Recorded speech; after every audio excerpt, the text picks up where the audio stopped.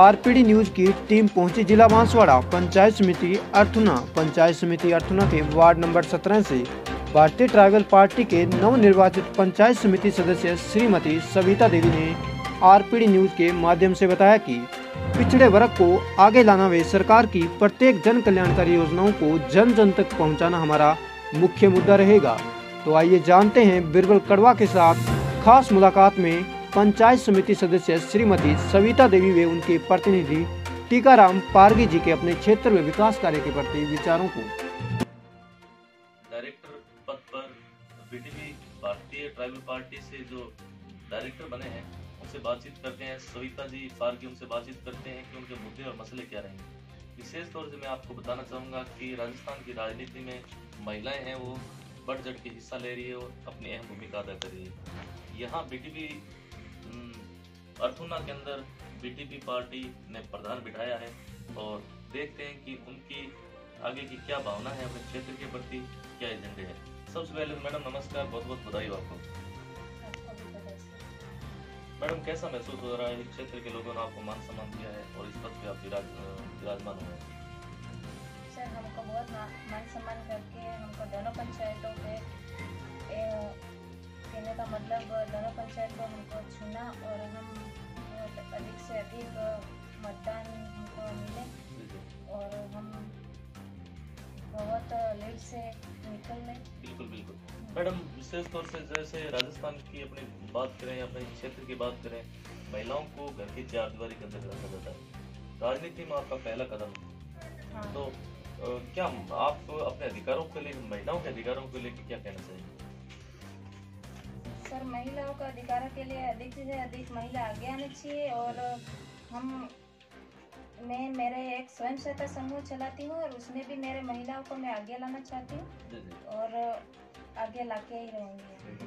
बहुत अच्छी बात कही कि ये स्वयं सहायता समूह के माध्यम से महिलाओं को रोज़गार भी इन्होंने दिया है और इनका एजेंडा भी यही है कि आगे से ज़्यादा से ज़्यादा महिलाओं को आगे महिलाएँ आगे आए राजनीतिक क्षेत्र हो चाहे वो हर क्षेत्र में आगे आए और अपने क्षेत्र का नाम रोशन करें। साथ ही टीकाराम जी पारगी साहब हैं उनसे बातचीत करते हैं कि इनकी क्या भावना क्षेत्र के प्रति। सर नमस्कार टीकाराम जी सबसे पहले बहुत बहुत बधाई। जोहार सर आपको बहुत बहुत बधाई। आप यहाँ तक हमारे पंचायत वार्ड नंबर पंचायत समिति वार्ड नंबर सत्रह में पधारे इसके लिए लाख लाख जोहार आपको। मैं मेरी जनता ने जैसे दो पंचायतों ने मेरे को बिना प्रचार से काफ़ी मतों से विजय बनाया है। मैं पहले तो मेरे ग्राम पंचायत के, दोनों पंचायतों के मतदाताओं को धन्यवाद देना चाहता हूँ कि उन्होंने मेरे को अपना समझा और मुझे एक विकास के रास्ते पर ले ले जाने के लिए जो लोगों की जो सुविधाएँ धरातल पर लागू कराने के लिए मुझे चयन किया। आगे मैं हम चाहेंगे कि हमारा प्रधान जी हमने हमारे भारतीय ट्राइबल पार्टी से राजू भाई मैडा जो हमारे युवा प्रधान हैं तो उनसे हम अपेक्षा करते हैं कि जहाँ तो में जो भी योजनाएँ आगे से आती हैं वो यथावत धरातल पर लागू कराएँगे। इस उम्मीद के साथ हम बीटीपी बन पाई है। और किसी भी तरह की से भ्रष्टाचारी कहीं भी हो रही है उससे मुक्त कराने की कोशिश करें। बहुत अच्छी बात कह रहे हैं कि क्षेत्र को भ्रष्टाचार मुक्त कहीं न कहीं इनकी पीड़ा है। भारतीय जनता पार्टी कांग्रेस वर्तमान में जैसे कांग्रेस की सरकार है उनको लेके क्या कहना चाहेंगे? सर कहीं न कहीं कांग्रेस और बीजेपी ने हमारे साथ कुटाराघात किया है। तो मजबूरन हमें तीसरा मोर्चा। तीसरा मोर्चा लाना पड़ा। जी जी। तो हम तीसरा मोर्चा लाने के बाद हम एस टी एस सी और ओबीसी और माइनॉरिटी को साथ में लेके चल रहे हैं। और उनके जो मुद्दे हैं जो। उनकी समस्या है उनको हम धरातल पर लागू कराना चाहते हमेशा कहते हैं कि पांचवी अनुसूची पांचवी अनुसूची ज़्यादातर देखने को मिल रहा है। इसको लेके क्या कहना चाहिए सर हम चाहते हैं कि यहाँ पर हमें पांचवी अनुसूची के अनुरूप हंड्रेड परसेंट मालिकाना हक मिले। जी जी। ये हमारा मेन मुद्दा है। और यहाँ की जो आदिवासियों की परंपरा अनुसार रूढ़ी प्रथा ग्राम सभा जो पूर्वजों के द्वारा हमारे शासन व्यवस्था प्रणाली थी वो यथावत लागू हो। ये हमारा मुद्दा है। वर्तमान में युग है साइंटिफिक तरीके से चल रहा है ऑनलाइन पंचायतें हो चुकी है। तो पुरानी आप पुरानी पद्धति की बात कैसे कह रहे हैं? सर जो हमारे पूर्वज जो प्राच्य पुराने समय में जो परंपराएँ रूढ़ी प्रथा जो चल रही थी अनुच्छेद दो सौ चुम्बालीस तेरह तीन का रूढ़ी प्रथा ग्राम सभा जो शासन प्रशासन पे हमारा नियंत्रण था। वो अभी भी कान, कानून तो लागू है पर प्रभावी नहीं है कुल मिला के ये कह रहे हैं कि कानून तो लागू है लेकिन प्रभावी नहीं है धरातल पे काम नहीं हो पाता इसके अलावा क्या कहना चाहेंगे इस शिक्षा के क्षेत्र में अपने टीएसपी बेल्ट बेल्ट की बात करें या चिकित्सा की बात करें या रोज़गार की बात करें इन मुद्दों के लेके क्या कहना चाहिए सम सर हम ये कहना चाहेंगे कि हमारे जो गरीब शोषित वर्ग जो हैं वो कहीं न कहीं पिछड़ा है। तो कहीं न कहीं जो योजनाएँ जो केंद्र लेवल से राज्य सरकार से जो योजनाएँ आती हैं उसमें ये जो नेता आते हैं जी चुनाव जीत के यहाँ से जाते हैं उसके बाद में हमें देखने तक नहीं मिलते हैं। दोबारा धरातल पे कभी आते नहीं हैं। हमको हमारे समाज को एक वोटर्स मानते हैं।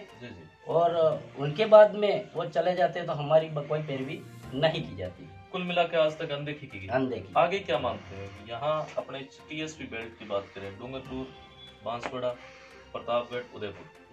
तो क्या मानते हो? बीटीपी आगे किस प्रकार से पनपेगी क्या कंडीशन है? सर हम आने वाले समय में यहाँ जनजाति क्षेत्र में सत्रह विधायक में से लमसम हम पंद्रह सीटें बीटीपी की निकाल लेंगे। और जो भी हमारे समाज के साथ जो कुटाराघात हो रहा है वो हम कतई बर्दाश्त नहीं करेंगे। अभी आपने अर्थुना के अंदर प्रधान बिठा दिया है। बीटीपी से अपने बांसवाड़ा ज़िले का एकमात्र प्रधान बने। तो क्या आशा और विश्वास रखते हैं इस क्षेत्र में विकास के एजेंडे को लेकर? सर हम विकास के एजेंडों से हम हमारा प्रधान बिठाया हमने।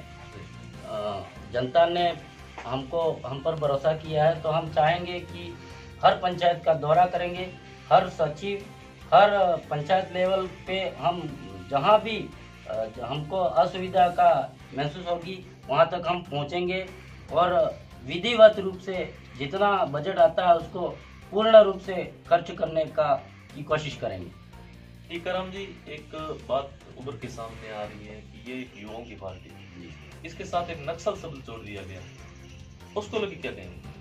सर पता नहीं कांग्रेस बीजेपी के जो मुख्य नेता हैं उनके द्वारा ये शब्द कहाँ से पनपाया जा रहा है? कहाँ से नहीं वो हमको समझ में नहीं आ रहा है पर सर हम एक सामाजिक प्राणी हैं। जी जी। और समाज सभी समाजों के साथ जीना चाहते हैं जी जी। पर हम हमारे अधिकारों के साथ में लड़ना चाहते हैं। अधिकार हमारे को हक की लड़ाई। हक की लड़ाई हमारे को प्राप्त नहीं है। इसकी वजह से हम बीटीपी लाए हैं। हमारे पूरे संवैधानिक अधिकारों के लिए हम लड़ाई लड़ रहे हैं। इस तरीके से हमको नक्सलाइट किया नाम से पुकारा जा रहा है तो वो सर कतई हम उसको बर्दाश्त नहीं किया बहुत अच्छी बात है कि हम एक सामाजिक प्राणी हैं बिल्कुल अधिकारों को लेके हमेशा अधिकारों को लेके लड़ रहे हैं। न कि नक्सल नक्सलवादी जो लोग कह रहे हैं तो यह एक गलत है। ये एक सिस्टम गलत है जो इस प्रकार के हमको प्रभावित कर रहे हैं। इसके अलावा वर्तमान में इस क्षेत्र के लोगों ने आपको मान सम्मान दिया उनको लेकर क्या सर मैं मेरी दोनों पंचायतों को बहुत बहुत जोहार बधाई कर देना चाहता हूँ कि जिन्होंने मेरे पर भरोसा किया है।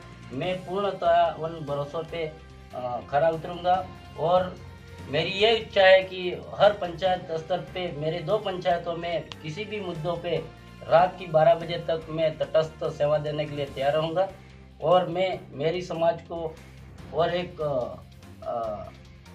अधिक से अधिक जन जागृति फैलाने का काम करूँगा सर। बिल्कुल। तो यह थी हमारी खास मुलाकात टीकाराम जी पारगी साहब से और देखते रहिए आरपीड न्यूज़। धन्यवाद। डायरेक्टर साहब आपने हमें समय दिया उसके लिए बहुत बहुत धन्यवाद। जोहार सर आपको भी लाख लाख जोहार। आप आए मेरे पंचायत में इसके लिए पुनः आपको जोहार बधाई सर।